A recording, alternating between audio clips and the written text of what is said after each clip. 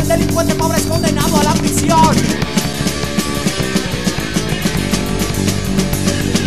Todo esto se debe a la corrupción y a la desigualdad social que reina en la nación. Los corruptos roban a la población, creando pobreza y destrucción. Váyanse a la mierda con su puta corrupción.